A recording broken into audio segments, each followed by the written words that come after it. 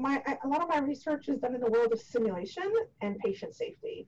So I do a lot of simulation around um, making processes safer for women, um, especially on labor and delivery. So I do a lot of research on emergencies in OBGYN and practicing them with simulation first before they actually happen and just kind of proving and looking at different methods of simulation that can help outcomes better be better.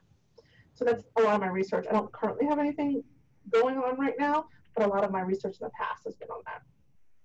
So the whole concept of sim is that you get to practice on a mannequin, you get to practice and you get to make mistakes when it, the, the real life emergency is not happening.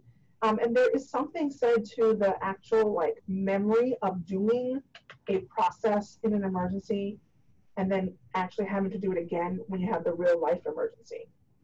So being able to practice it on whether it is what you call out for help or who you call out to help you or the actual procedure with your hands that you do in the face of an emergency, if you practice that repetitively and do it more, when you're faced with the with the emergency, it just becomes that it's almost rote because you have practiced it and seen it before.